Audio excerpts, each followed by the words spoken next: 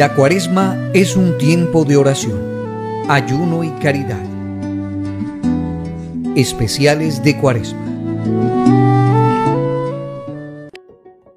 Los sacramentos son instrumentos que nos dejó Jesucristo para ayudarnos a llegar al cielo más fácilmente. La confesión es el sacramento mediante el cual Dios nos perdona los pecados cometidos después del bautismo y recuperamos la vida de gracia, es decir, la amistad con Dios. Como todos los sacramentos, es un encuentro personal con Jesús. En confesión estamos contando nuestros pecados al sacerdote, que actúa en la persona de Cristo, y con la autoridad de Jesús para escuchar, ofrecer orientación, proporcionar una penitencia adecuada y pronunciar las palabras de absolución.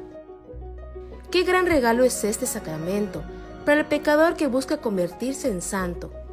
Cuando lo recibimos con un corazón verdaderamente contrito, podemos saber con certeza que somos perdonados. A través del sacerdote, Jesús mismo ofrece perdón al penitente, así como gracia para fortalecer a la persona contra las futuras tentaciones. Además, la penitencia tiene dos aspectos, interior y exterior. El interior es el movimiento de un corazón contrito, atraído por la gracia divina para responder al amor misericordioso de Dios esto implica pena y aborrecimiento de los pecados cometidos, un firme propósito de no volver a pecar en el futuro y confiar en la ayuda de Dios. Y el exterior se puede expresar de muchas maneras, pero sobre todo en ayuno, oración y limosna. Estas y muchas otras formas de penitencia pueden practicarse en la vida diaria de un cristiano, particularmente durante el tiempo de Cuaresma y el día penitencial del viernes. Ahora que sabes la importancia de la confesión, te compartimos una forma sencilla y eficaz de hacer una buena confesión. Haz un buen examen de tu conciencia. Puede resultarte útil repasar los mandamientos y hacer una lista de cada falta cometida contra ellos.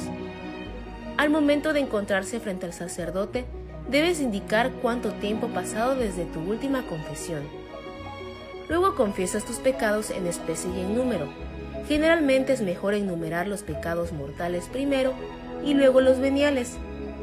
Al terminar de mencionar todos tus pecados, el sacerdote puede ofrecerte algunos consejos sobre cómo evitar la tentación y o hacer sugerencias para invitarte a desarrollar una virtud particular para evitar el pecado en el futuro.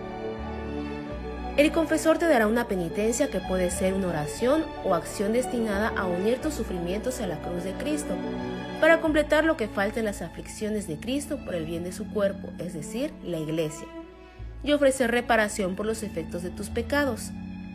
Luego dirá las palabras de absolución, actuando en la persona de Cristo, diciendo las palabras de perdón y reconciliación en el corazón de este sacramento. Al final de las palabras de absolución respondes amén. Debes hacer la penitencia tan pronto como sea razonablemente posible, disminuirá el castigo temporal de los pecados ya perdonados.